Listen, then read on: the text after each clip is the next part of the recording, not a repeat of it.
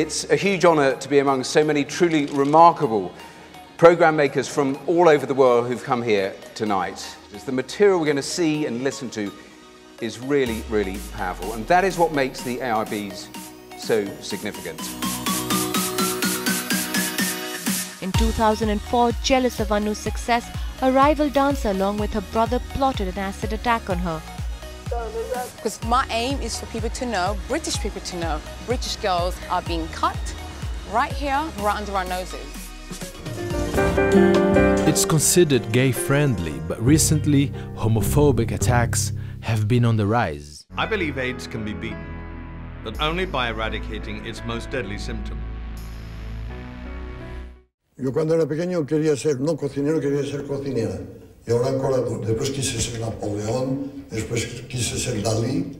20 workers share a tiny two-bedroom apartment which is dirty and infested by insects. They come back exhausted from work and sometimes in the morning they don't wake up. Some people would say that's murder.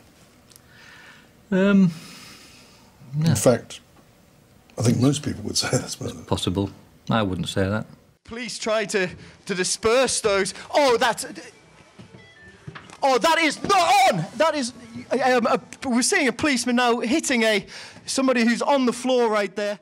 Walking through the debris field of a passenger jet, the remains of its crew and, and passengers are everywhere, and yet there is no one here trying to work out what happened.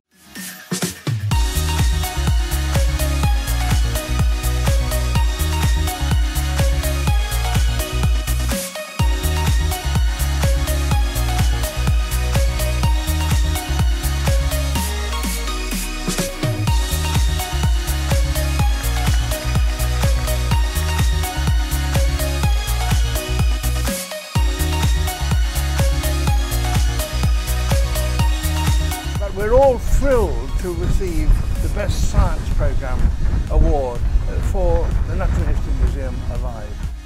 I mean, it's just an honour and a privilege to be associated tonight, not only with the other contenders for this particular award, but for all the, uh, the awards, all the entries.